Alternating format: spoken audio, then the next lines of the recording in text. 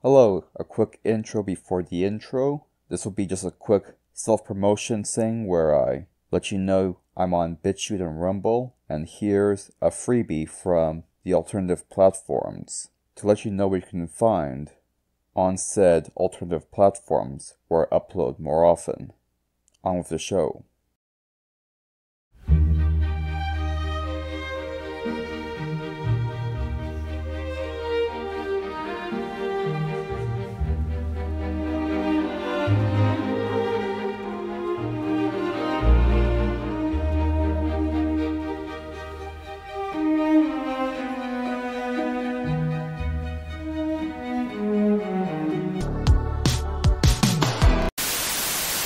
Hello and welcome to Alt Tech exclusive number 164. In this episode, we'll cover the history of grafting. First, we'll cover the definition of grafting. The method of grafting is to propagate one existing genotype by taking a piece of wood from that genotype and grafting it onto the rootstock of a separate genotype. This occurs when seeds and cuttings are not viable means of propagating a plant such as in situations where cuttings do not root, or in the case of plants that and non-annual plants. You see in farming the holy grail is to create a totally uniform plant situation. In self-pollinating crops this is easy. You artificially make the cross and let the self-pollination happen. By the time 12 generations pass, you will have multiple pure line genotypes that have been fixed into their current genetic situation. In naturally cross-pollinating annuals, you can use different methods of forced inbreeding, and then crossbreed those inbred lines to make F1 hybrids. For perennial plants, this is not an option because their lifespans are too long for inbred lines or F1 hybrids to be developed efficiently. As such, asexual reproduction through cutting or grafting is useful, to produce a large amount of a single genotype. Another aspect of grafting that is often useful is the avoidance of juvenility. Many trees and shrubs have long juvenile phases of their life cycle. During this time period, they cannot flower. Grafting mature wood onto a root system of a seedling can guarantee that the juvenile phase is skipped, allowing a plant to reach full maturity at a far faster rate. As mature flowering, scionwood still maintains its flowering characteristics. Other means is to create unusual growth forms. Some rootstocks have unique architecture, such as the tree form of Rosa multiflora, or the cultivar Dr. Huey. Grafting the normal variety allows for the maintenance of this shape while adding new flowers. There's also cultivar change as an option, if you don't like the cultivar you're growing on your current rootstock, you can chop off the scionwood and replace it with a new cultivar by grafting something new onto it. There are also various rootstocks that can also control the size of the plant by virtue of having a smaller root system, limiting the size that the plant can grow to. And various rootstocks can pass on certain resistances to both biotic and abiotic disorders to their scionwood. Now on to the history of this practice.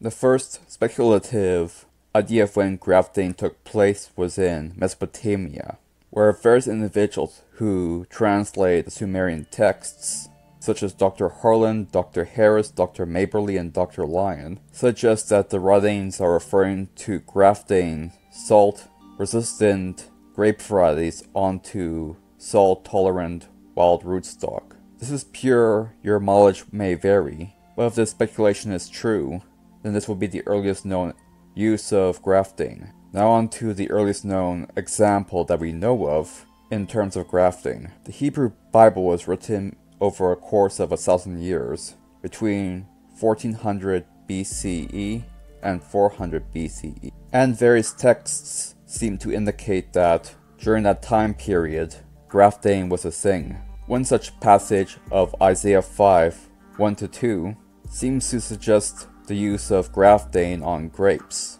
In the more Hebrew centered Bible for Judaism, the Mishnah, specifically Kilayim 1 4, lists several fruit tree rootstock scion combinations that are allowed within Judaism. Several scholars also interpret Psalms 128.3 to be a reference to grafting, the verse stating, Your sons like olive seedlings surrounding your table. Grafting likewise was used as an analogy for how Gentiles can integrate into Israel in Romans 11:24. It was also mentioned in the Book of Mormon, Jacob 5:17 to 18. Although I would not count as part of history since grafting had already been a mainstream saying within America by the time the Book of Mormon was written. Now on to ancient Greece and Persia. In ancient Greece, the earliest verifiable written account about grafting was the book on the nature of the child. This book was written in 424 BCE by various followers of Hippocrates long after he died. The quote from the passage that mentions grafting can be found within the image on the screen. The passages within this book suggest that the technique of grafting was already commonplace by the time this book was written, indicating that it's older than the 4th century BCE. This book also speculates on how the scion would get the nutrients from the rootstock.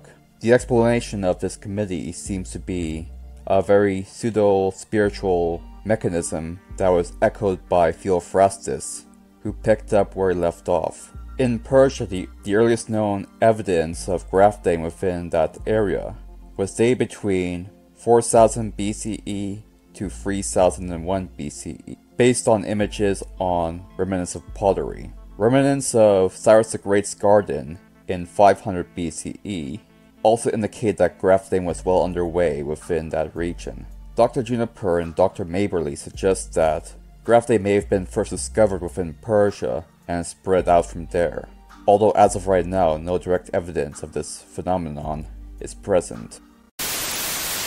In ancient Rome, which got most of its information from ancient Greece. The earliest known writings about grafting was by Cato in his book De Agricultura, which describes a method of grafting. Another piece of writing by, by the philosopher Marcus Terentius Varro did a large series of experiments to see limitations of grafting and what is compatible with what. Pliny the Elder did a similar experiment although both did not understand the full mechanics of what was happening and why one failed and the other succeeded.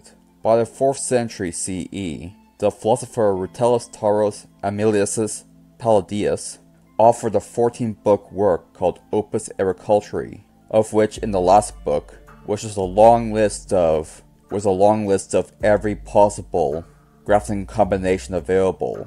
A high number of incompatible combinations indicate that Mr. Palladius was not writing from personal experience, but rather compiling it from other writers. Now on to China.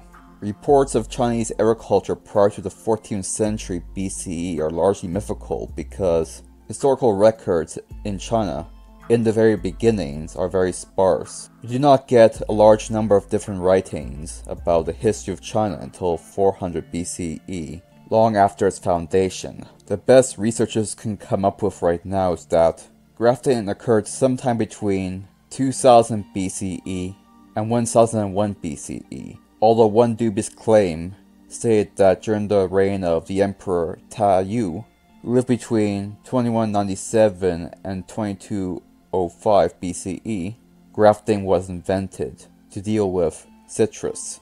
Another account suggests that, based on the writing of the Chu, a type of Chinese-style herbal, Various writings, especially during 1560 BCE, showcased the use of grafting. Dr. Juniper and Dr. Mabberley suggest that it may have started in 300 BCE with the development of the Chinese silk industry, but the only well-confirmed, direct, credible evidence of grafting within China was in the book Fan Sheng Shu, written during the 1st century BCE. The original book was long since lost. The original copy has been lost, but excerpts of this book have been incorporated into 6th century CE texts. One such excerpt describes the grafting of bottle gourd, another describes the use of crabapple, another describes pear grafting, and still another describes jujube grafting and pomegranate grafting. Now onto the medieval era. In medieval Europe, based on the facts of surviving records of agriculture from ancient Greece and Rome, and the fact that began translating Greek and Roman documents into English around 897 BCE, it's probable that grafting was introduced around that time in Europe. Likewise, in the Islamic world, during the Dark Ages, the Arabs were the major successors to the Greeks and Romans, as they took on much of the knowledge and ideology of the ancient Greeks and Romans, making use of grafting throughout that era. Within Persia, there is a cultural history of deep love for plants and gardening. This carried over for a time into the Islamic empires. As such, a great many poems inspired by gardening were common during that time period, alongside various writings talking about different mythologies surrounding grafting. It's likely from this culture that a great many superstitions surrounding grafting entered Europe. Now on to Renaissance Europe. In 1440, John Gardner wrote the book The Fate of Gardening. As of right now, only two copies still exist of this work, but what is known is that there's a section on grafting, during which one of the earliest known dwarfing apples was mentioned, Paradise Apple.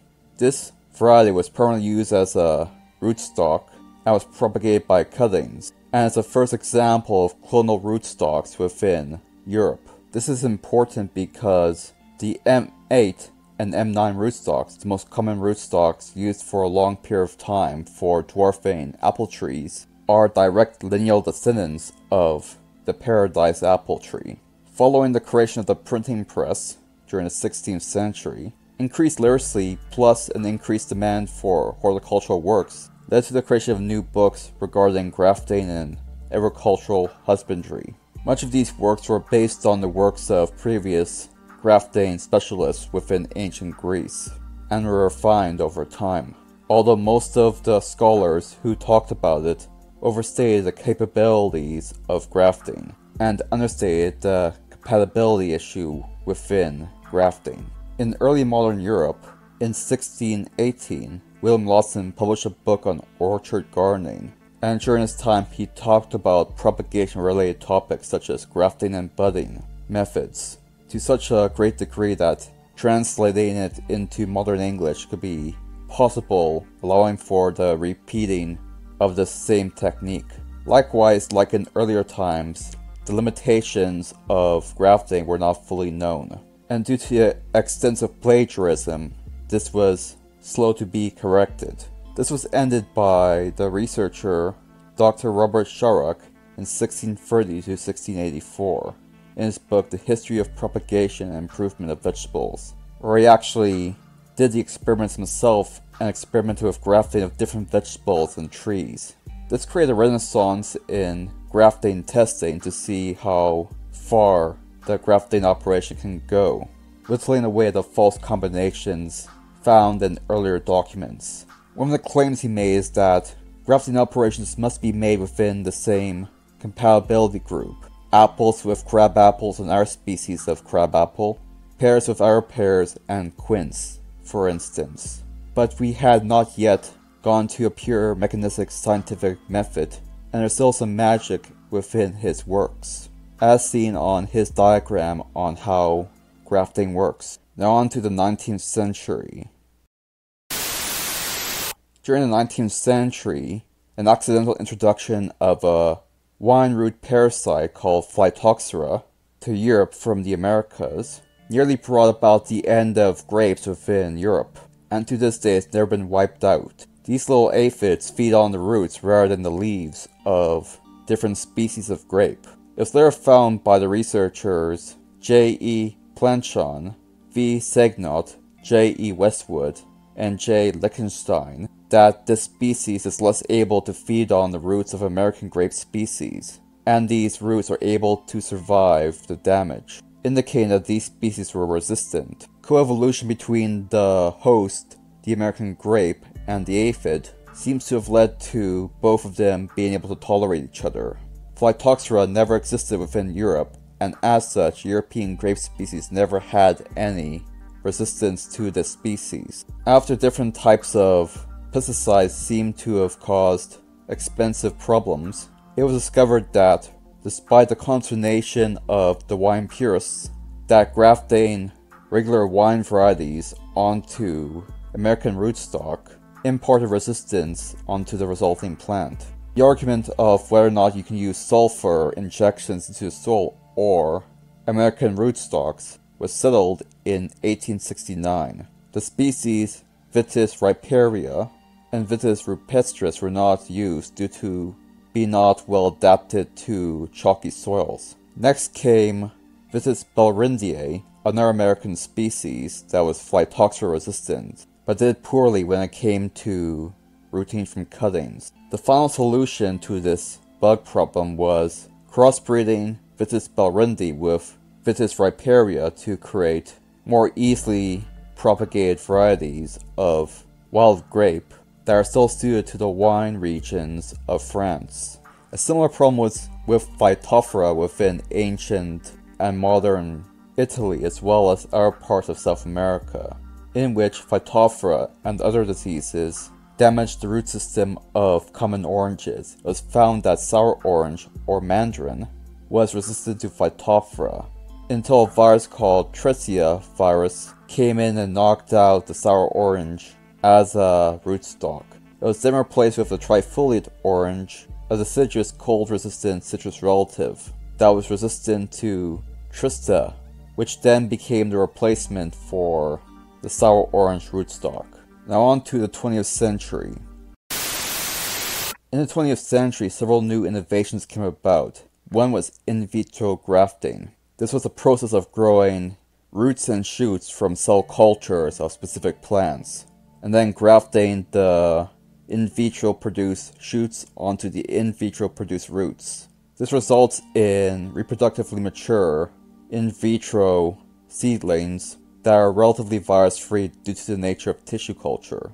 These grafted seedlings would also be, well, grafted, allowing them to be used as mother trees for future plantings. This sped up the production of new plants available for production in terms of citrus, and played a major factor in improving Spanish citrus industries. Now on to vegetable grafting. I covered this in the previous episode, so watch that video for that information. In terms of flower bud grafting, for the Taiwan pear industry, pears do not flower within Taiwan due to insufficient chilling. This is overcome with flower bud grafting, where trees in Japan who have received the needed chilling are harvested and shipped to Taiwan where they're grafted onto the tree where they bloom and produce fruit. This process has to be renewed each year to produce fruit. The last modern technique was the Mukibat grafting of cassava.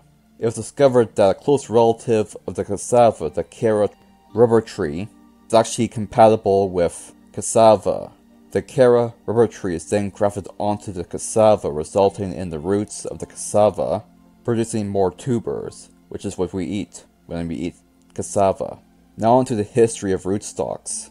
On another modern note, it was also found that in a paper by Brandon S. Gaut, Allison J. Miller, and Daniel K. Seymour of the University of California, University of Missouri, and the Donald Danforth Plant Science Center of St. Louis, I found quite a few more interesting things about grafting. By testing Arabidopsis thaliana seedlings, it was found that the general theme is attachment followed by phloem reconnection, which takes three days after grafting for Arabidopsis, followed by resuming of root growth, which takes five days, xylem reconnection, which takes seven days, it was found that gene reactivation occurs between both cells, developing new auxins to begin fusing the two cells together. Other experiments with tobacco found that, indeed, genes are being exchanged within the graft union, but there's still some mysteries. The reason why grafting is not always successful is incompatibility. In the case of monocots, there are almost no examples of grafting, this has to do with the arrangement of their vascular bundles. It is unknown why it works the same way with eudicots and gymnosperms. We know that grafting compatibility is closely linked to phylogenetic relatedness, and there's no rules, but there are exceptions. For instance, many times, various species can only be grafted onto their own species. In other cases, they can be grafted to closely related species. A former example would be almonds, plums, and peaches, which are incompatible with each other for grafting, even though they're all part of the same genus. But crab apples can be grafted onto apples and vice versa, even though they're different species. And different species of pear, and even other species in a different genus, such as quince, can all be grafted onto each other. It's suggested that this is caused by def defective hormone signaling. Experiments with Arabidopsis using mutants showcases that defects in auxin and cytokinin biosynthesis signaling do not abolish graft formation. Other experiments with fir showcased that graft incompatibility was heritable very highly, and it's likely due to the existence of very specific additive genes. And whether or not a species is compatible with each other in terms of grafting is determined by only a few genes. In such cases, crossbreeds between peach and plum showcased that within each population of hybrids, a certain number of them are the graft incompatibility trait is caused by two dominant genes. A similar phenomenon was found in hoop pine. Now onto the history of clonal rootstocks. The earliest known example of rootstocks reproduced via asexual propagation was a wild pear variant either of Pyrus phaeocarpa or Pyrus betulifolia, two wild pear species known in China.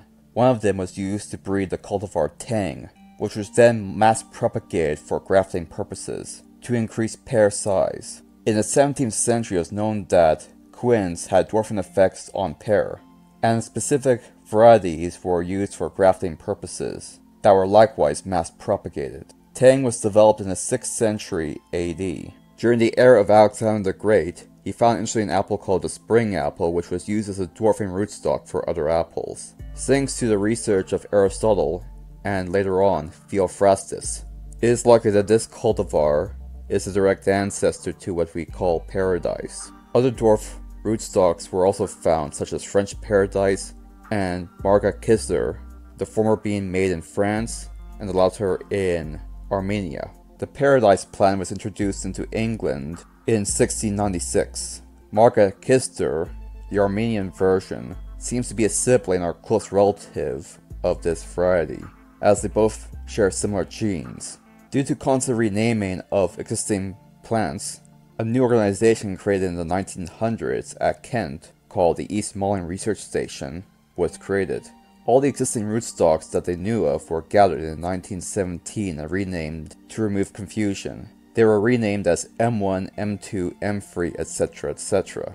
Eventually, all 27 were released and were classified as dwarf, semi-dwarf, vigorous, very vigorous, and standard. In time, it increased to 111. As different breeding programs to improve the existing rootstocks were made, especially using other cultivars such as Northern Spy to improve resistance to woolly apple aphid. 15 selections were made and these were M101 to M115. These became the base of a great many new cultivars that are bred for dwarfing purposes and other purposes as well. And that about covers everything. Thank you for watching.